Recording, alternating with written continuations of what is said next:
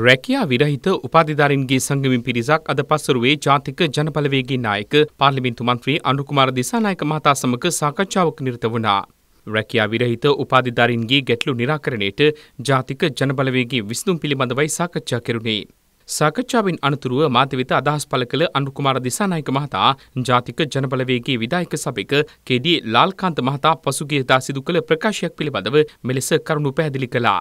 දැන් මේ ලාල්කාන්ත සහෝදරයට එල්ලලා තියෙන චෝදනාව සම්බන්ධව ඔබතුමාට තියෙනවද කියවීමක්? ඇතර එකක් තමයි එම ප්‍රකාශය නීති විරෝධී නම් මේ මේ නීති ඉටු කිරීම සඳහා තිබෙන ආයතන වෙත විධිමත්ව පරීක්ෂණ කරන්න. මේ පාරේ අරේ මේ හූ හූ කී හූ හූ කීකේ යන්නේ නැතුව. අපේ අදහස වුණේ බාරකාර ආණ්ඩුවක් හදලා ඒ බාරකාර ආණ්ඩුව යටතේ පාර්ලිමේන්තු විසිරුව ඇහැරලා ජනතාවට අලුත් පාර්ලිමේන්තුවක් පිහිටවීම සඳහා අවස්ථාව දී යුතුයි කියලා. ඒක ප්‍රජාතන්ත්‍රවාදී. විශේෂයෙන්ම අපි කවුරුත් අදහස් ඉදිරිපත් කරනකොට ප්‍රවේශම් සාගත වීමක් සිදු යුතුයි. මොකද අපි ගොඩනගලා තියෙන දේශපාලන සාකච්ඡාවට යම් බාධාවක් සිද්ධ වෙනවා. දැන් ඔබ වුණත් අද මේ සාකච්ඡා මේ ප්‍රශ්න අහන්න తీරින්නේ එම් ප්‍රකාශය සිදු වෙන නිසා. ඒ නිසා අපේ පැත්තෙන් අපි ප්‍රවේශම් විය යුතුයි කියලා අපි හිතනවා.